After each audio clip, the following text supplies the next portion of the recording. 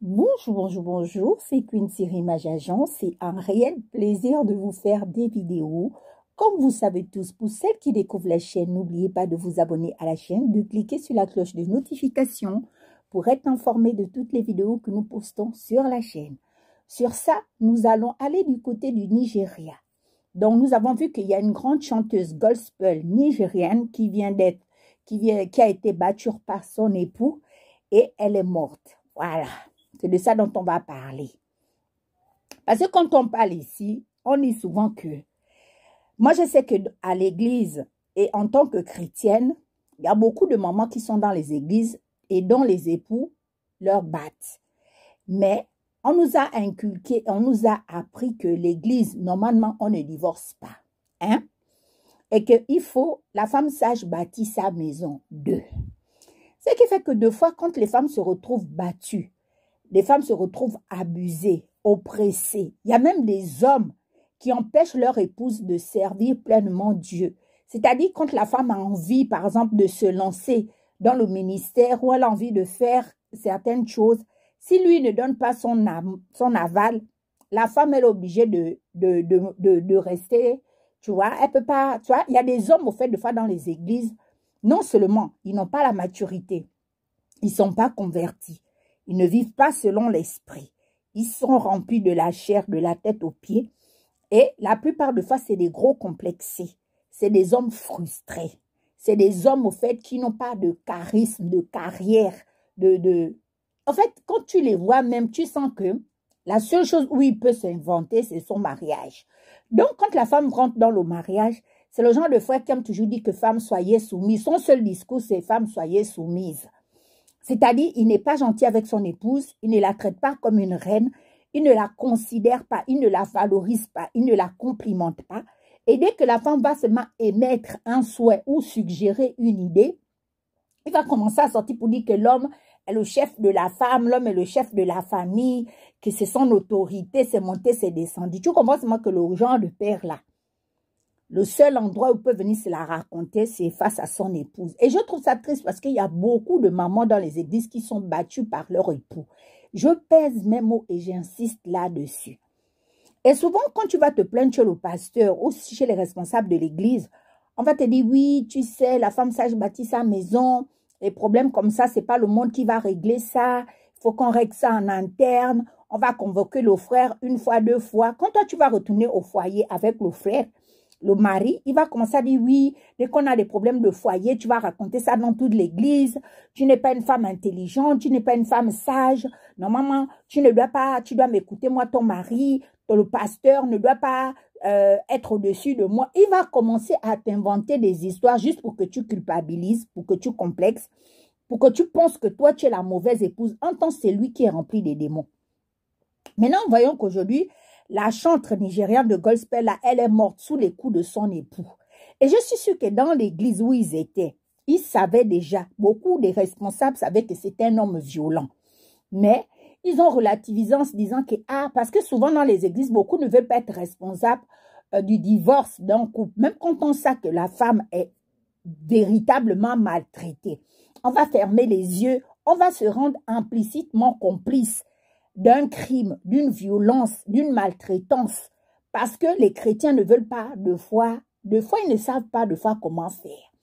Parce que quand on va convoquer le frère à l'église, ou quand les responsables vont le convoquer pour lui dire que, ah, frère, on a entendu que ta femme a été battue, ou bien de fois on va voir la soeur, elle a des bleus.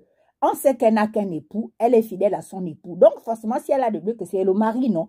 Mais lui, quand il va venir, commencer à dire, oui, elle est impolie, elle n'est pas soumise, elle ne fait pas ceci bien, elle ne fait pas cela bien mais il ne dira jamais ses défauts. Voilà pourquoi on se retrouve encore aujourd'hui à l'église avec, des cas de maltraitance, de violence. Ce qui ne devait pas être le cas parce que l'église doit être le modèle, l'église doit être la vitrine du monde.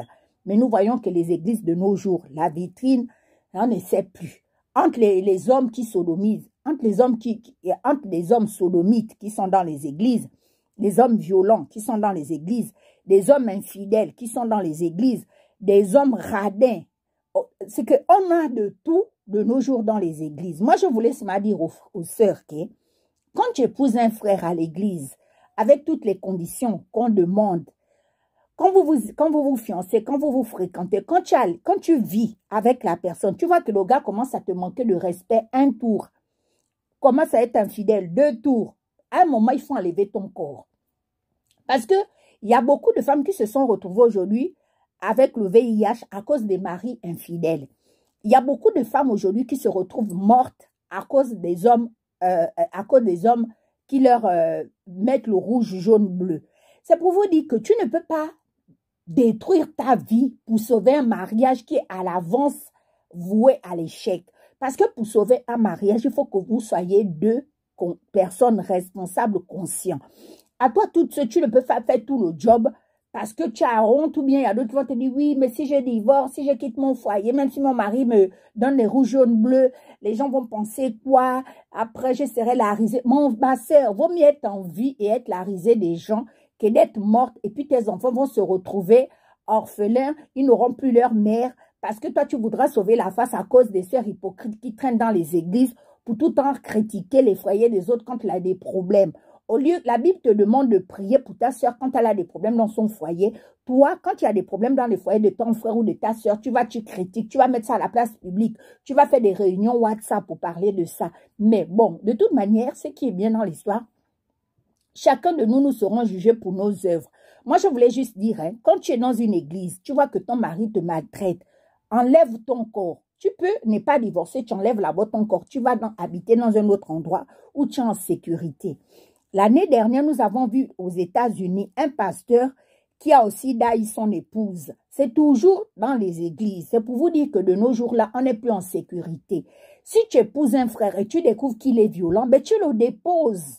Parce que ta vie que Dieu t'a donnée là, c'est Dieu qui t'a donné cette vie. Il ne t'a pas donné ça pour qu'un plaisanté à deux balles, qui ne sait pas euh, euh, euh, avoir le self-control sur ses nerfs, viennent se défouler sur toi. Donc, au nom de je ne sais pas quoi, tu ne vas pas subir un homme qui est complexé. Parce que la plupart des hommes complexés, quand ils n'ont rien à dire, leur seul, leur seul argument, oh, tu dois être soumise. On n'est pas soumise dans le jour rouge, jaune, bleu. On n'est pas soumise dans la violence. On n'est pas soumise quand on a face de nous un homme qui ne, sait, qui ne sait pas sa place.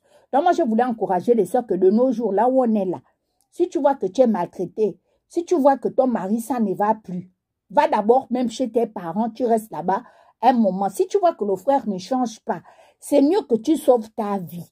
Ne laisse pas un homme détruire ta vie. Parce que je dis la grande chante du gospel au Nigeria, elle est morte. Hein, elle a daï. Le monsieur va rester là. Je suis sûre qu'il va faire son meilleur coup pas. Il va sortir de larmes et puis il va commencer à dire, ah, je suis désolé. C'est le diable qui est monté, c'est le diable qui est descendu. Donc, c'est trop facile. Hein? De nos jours-là, on, on protège d'abord nos vies et nos enfants. Voilà, si ça, vous passez une belle journée. N'oubliez pas de vous abonner à la chaîne et de cliquer sur la cloche de notification. Bisous